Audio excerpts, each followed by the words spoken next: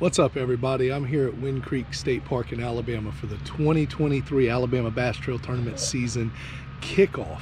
South Division right here on Lake Martin. Want to give you a quick recap of our tournament. We finished mid-pack with only seven and a half pounds. Real close tournament. Uh, the winner was 16 something, second place was 14 something, third place was 12 something, uh, 10th place was 10 and a half, and from 10 and a half all the way to where we were at seven and a half was midfield. It was stacked uh, by ounces all the way up. Uh, we went out practicing on Thursday. We got in Wednesday, uh, coming in from Louisiana. Got here Wednesday, went out Thursday, practiced.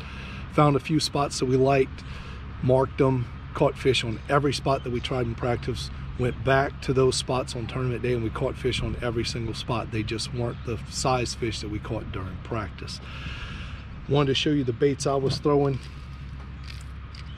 I was using the Bill Lewis Lures MR12 series crankbait in the strawberry craw color. Beautiful bait. This one dives down 12 foot. Throwing it on my Daiwa Tatula rod and reel. Got that one strung up with Hi-Seas Grand Slam, the fluorocarbon coated mono running 15 pound test on that one. The other bait I was throwing was,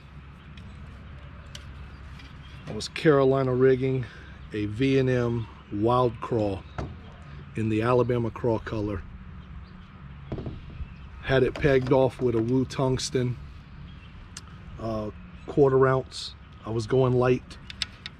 I wanted to get it down, but I didn't want it to get hung up in the rock every area we found we were targeting was rock piles and humps underwater that went up onto shallow flats coming off of points.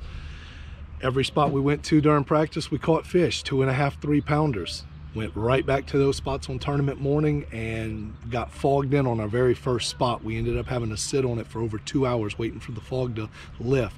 It lifted just enough for us to get to spot number two, but the fog didn't actually burn off until midday that day. So it was a really slow event. We get to the first spot. Within minutes, I had the first fish in the boat with that uh, strawberry craw MR12. Uh, I was also throwing the MR6 version of that one. And then when we got into the shallower areas, I actually switched it up and I went to an SB57 with the glitter craw color. They're um, red glitter crawl. but this one right here, the wild craw, Alabama craw, and the MR12 strawberry craw crankbait. Those were the two key ones for me. Like I said, the fish weren't as big on tournament day. I don't know if they just, bigger ones moved out, sat a little bit further out. Um, or what, we just couldn't get them to bite. Later on that day, it got real, real slow, so I broke out the last resort. and I went to a Woo Tungsten shaky head with a V&M pork pin in the watermelon red color.